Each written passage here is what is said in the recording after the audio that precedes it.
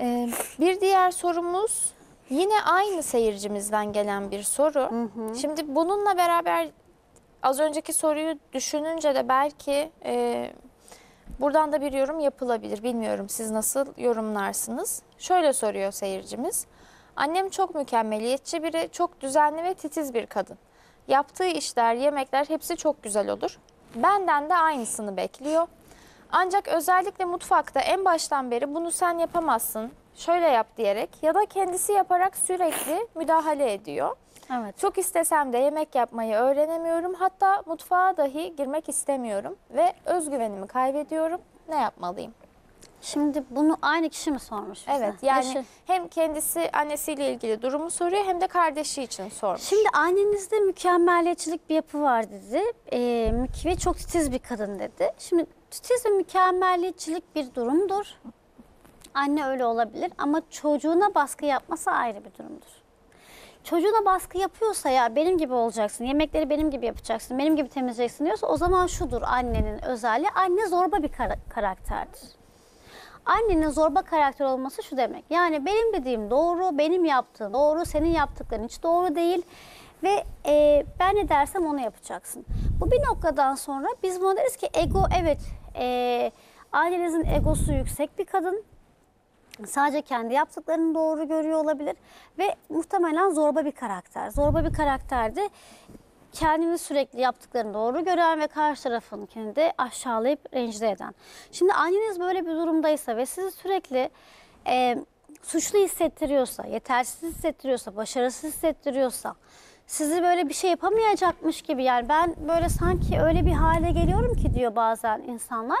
Ben sanki hiçbir şey tutup kaldırabilecek bir insan değilmişim gibi veriyorsa size ve siz hala buna rağmen çabalıyorsanız siz de annenizin size açtığı tuzağa girmiş durumdasınız.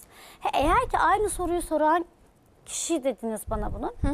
Kardeşiniz bunu yapmıyorsa annenizin bu kadar mükemmeliyetçi olduğunu bilip Zaten annem benim işimi beğenmeyecek. Zaten annem yaptığım şeyi beğenmeyecek. Zaten bir yerde bir şey bulup eleştirecek beni diyerek eleştiriden kaçarak kendini korumaya almış olabilir. Siz de eleştiriden kaçmak yerine kendinizi ispatlayarak bak anne ben aslında öyle değilim ben böyle bir insanım diyerek kendinizi göstermeye çalışıyorsunuz. Peki ikisi sağlıklı mı? Asla ikisi sağlıklı bir şey değil. Biri kaçarak bundan kurtulmaya çalışıyor, diğeri savaşarak kurtulmaya çalışıyor. Ama peki hangisi daha hızlı iyileşir derseniz savaşarak bunu çalışan kişi. Çünkü bilir ki annemde yanlış bir şeyler var. Bana empoze etmeye çalışıyor ve bu benim karakterimle asla ve asla uygun bir şey değil. Asla benim karakterimde benim yapabileceğim bir şey değil. Böyle diyorsa kişi şurada o zaman şuna çok iyi bakması gerekiyor kendiyle alakalı pozitif taraflar. Kendini mesela Ayşe ise bizim yol. Ayşe'yi Ayşe yapan ne? Ayşe bir şey yani illa çok iyi yemek yapmak zorunda değilsiniz bir insan olmak için. İlla evi böyle jilet gibi yapmak zorunda değilsiniz. Bu yanlış yargılardır. Bu bir noktadan sonra obsesyona varacak yargılardır. Bu annenize ait bilgiler. Ama asla şunu unutmayın. Annenizi kopyalamaya devam ettikçe ona çok benzersiniz aynı şeyi hayatınıza ve çocuklarınıza aksettirmeye doğru gider bu. O yüzden yapmanız gereken şeylerden bir tanesi anneniz size bir şey beğenmiyorsa şu cevaba verebilmelisiniz. Anne ben böyle yapıyorum. Senin gibi yapamıyorum ben böyle yapıyorum. Bence güzel olmuş.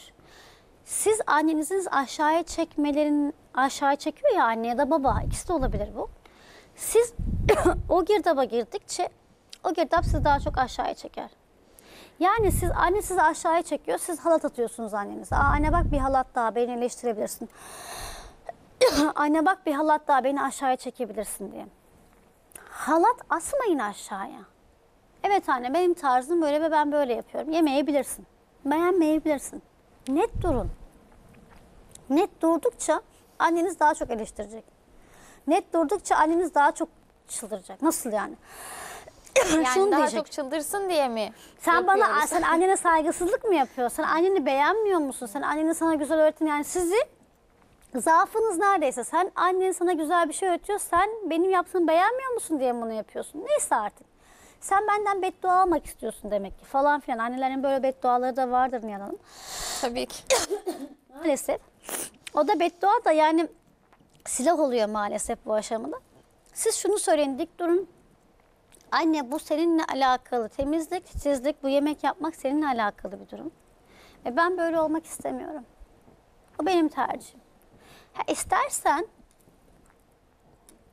bu söylemlerine devam edebilirsin ama ben buna cevap vermeyeceğim. Ama istemezsen de benimle güzel bir şekilde konuşabilirsin. Annenizin her konuştuğu şeyi beddua edebilir, kızabilir, bağırabilir o sırada. Sanki şöyle düşünün. Sanki önünüzde böyle beyaz bir cam var. Beyaz saydam bir cam. Ama gör, anneniz o camı görmüyor, siz görüyorsunuz. Annenizin söyledikleri size ulaşmadan o camdan aşağı ön- önüne düşüyor. Çarpıp düşüyor, çarpıp düşüyor diye hayal edin. Sonra bakacaksınız ki o düşünceler size gelmiyor. Siz yaralısınız ama şunu fark edin. Evet yaralıyım, üzgünüm böyle söylemekten ama doğrusu bu. Bazen gerçekler çok acı olsa bile doğru yaklaşım yapmak durumundayız yanım. Bazen çok acı evet. Ama annelerimizin de bilmesi gereken şey var. O anne siz bir çocuksunuz. Onun annesi ona ne yapıyorsa, nasıl öğrettiyse, nasıl aynısını size yaklaşmaya çalışıyor. Ama siz o olmak zorunda değilsiniz. Siz onun tarzında bir şey yapmak zorunda değilsiniz. Sonrasında ise 40-50 yaşınıza geldiğinizde şöyle travmalar yaşayabilirsiniz. Ben bu yemeği yemek istemiyorum. Çok kötü anım var. Ben şu tarz sofra kurulmasına hoşlanmıyorum. Çok kötü anım var. Önemli olan şu. Siz onu anıları yaşamamak için kendinizle alakalı savaştınız ama bunu dış cepheye gösterdiniz mi? Hep annenizin her sözüne etkilendiniz. Nasıl etkilendiğimi anlayabilirim diyorsanız o da şu. Anneniz her eleştirdiğine daha fazla yapıyorsanız bir şeyleri demek ki etkileniyorsunuz. Ay bak kötü yaptın yemeği diyor. Siz bir dahakine daha iyi yapmak için çok çok çok çaba sarf ediyorsunuz. Demek ki etkileniyorsunuz. Bu pozitif eleştiri değildir Nihan Hanım. Bu ciddi anlamda e, kınama, küçümseme e, ve bazen aşağılama durumuna kadar gidebilir. O, o durum sizi aşağı ama pozitif eleştiri şudur. Ya evet annem şu konuda şurayı bir tık eksik yaptığımı söyledi. O tuzunu bir tık fazla katayım mesela. Bu pozitif eleştiridir. Ama sizin her yaptığınız eleştiriliyorsa, her yaptığınız kınanıyorsa, her yaptığınız bir noktadan sonra annem beğenmiyor, işte sürekli müdahale ediyor, sürekli karışıyor, sürekli siz özgüveniniz kalmaz, kendinizi yetersiz hissedersiniz. Hatta şunu hissedersiniz, evli misiniz bilmiyorum ama ben evlenmeye layık değilim, ben anne olmaya layık değilim, ben iyi bir kadın olamayacağım, ben iyi bir anne olamayacağım, ben iyi şöyle olamayacağım. Yani hep böyle başlarsınız kendinizi aşağılamaya. Ta ki çok farklı bir yerden yaptığınız yemekler çok beğenilir, çok övgü alırsınız. Dersiniz ki aslında ben o kadar da kötü biri değilim. Ama eleştirinin merkezi anneniz olduğu için, o laflar anneden geldiği için nereye giderseniz gidin, aklınızın bir köşesinde şu olacak. Belki de o kadar iyi değilim. Belki Evet. de o kadar iyi yapmıyorum işimi. Belki de bir şeyleri yine yanlış yapıyorum demeye devam edeceksiniz. Burada lütfen önce kendinizi çok iyi okuyun. Neyden etkileniyorsunuz ve anne sizi neden tetikliyor? Bir. İkincisi siz savaşmaya niyetiniz var. Savaşıyorsunuz ama annenizin aurasına girerek savaşıyorsunuz. Ne derse yaparak. Kardeşiniz ise hiç uğraşmayacağım annemle ya diyor. Bir süre eleştirecek beni şimdi diyerek kaçmaya çalışıyor. Anne de bir zorba. O zaman ne yapmanız gerekiyor sağlıklı olarak? Kendinizi iyi okumanız gerekiyor. Ben neyden çok etkileniyorum ve kötüleşiyorum annem dediğinde? Neden daha çok ispat etmeye çalışıyorum? ve akabinde ise bunu hareket anlamı nasıl değiştirebilirim? Nasıl değiştirebilirsiniz? Söyledikleri kelimeyi cam bir önünüze bir saydam bir fanus geçirin. O bilgiler oraya, o cama gelsin, düşsün, size ulaşmasın. Bu annenizle alakalı. Annenizin eleştirme yapısı, eleştirdiği şey annenizle alakalı bir şey. Sizinle alakalı değil. Çok fazla eleştiriyorsa kendi çıkmasıyla alakalıdır. Dürtüsel olabilir, depresif ruh hali olabilir. Sürekli eleştiriler büyümüş olabilir ve böyle olmasının en doğru olduğunu düşünmüş olabilir. Evet. Ve sizin sürekli ona itaat etmenizi isteyebilir. Ama siz şunun farkındasınız. Siz kordonu doğumdan itibaren kestiniz. Evet. Ama anne bunun henüz farkında değildir Nihan Hanım. O yüzden buradaki ayrımı iyi görmek gerekiyor. Buradan özellikle annelere söylüyorum. Belki anneler yaptıkları yanlışları birazcık daha fark ederler. Çünkü bazen söyle, söylemleri o kadar ağır oluyor ki ben ne dedim ki diyor. Ama çocuğun dünyasında, bir gencin dünyasında yıkıcı sebeplere kadar varabiliyor. Ve anneden bağ, anneyle alakalı problemler devam ettikçe hayatın birçok aşamasına devam Evet. ediyor maalesef.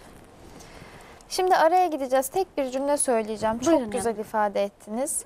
Ee, bu kadar titiz ve mükemmeliyetçi bir anneyle büyümüş her kim varsa eminim ki o ortamda şahit olduklarıyla zaten pek çok beceri kazanmıştır. Sadece Kesinlikle. bu becerileri gösterecek imkanı ortamı henüz oluşmamış belli ki ama bütün bunlar onda var. Sadece şu an bu eleştirel ortamda açığa çıkartamıyor. Bahsettiklerinizle beraber adım adım hepsinin kendinde de açığa çıkmaya başladığını görecektir inşallah diyelim. Şimdi kısa bir aramız olacak. Ardından sizlerden gelen soruları cevaplamaya devam edeceğiz.